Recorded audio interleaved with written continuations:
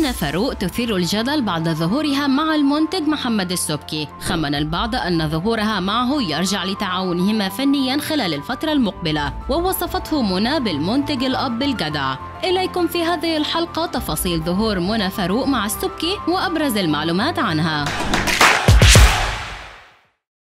ظهرت الفنانة منى فاروق خلال الساعات الماضية برفقة المنتج محمد السبكي وكانا يستمتعان بأجواء صيفية مميزة ووصفته منى بأنه منتج أب ويدعم الوجوه الشابة. أثارت الصورة حالة كبيرة من الجدل فور طرحها على السوشيال ميديا وخمن البعض أن لقاء الثنائي يرجع لتحضيرهما لعمل فني جديد خلال الفترة المقبلة.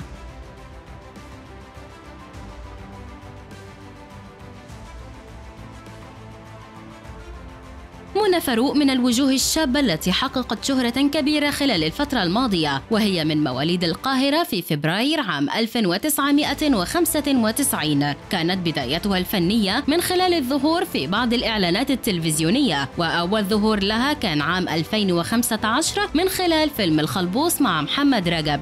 لكن بدايتها الحقيقية كانت بعد ظهورها في مسلسل ظل الرئيس مع ياسر جلال وشاركت بعدها في مسلسلي الأب الروحي ورحيم وأثبتت موهبتها الفنية من خلال هذه الأدوار.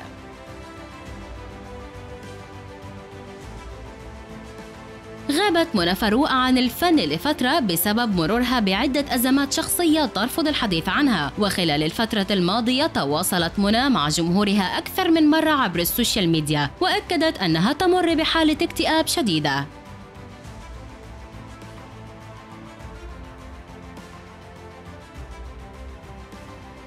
حالة الاكتئاب التي تعيشها منى فاروق ترجع لعدم عملها منذ سنوات طويلة بالإضافة إلى أنها single ولا تملك أي أموال لتنفق بشكل جيد.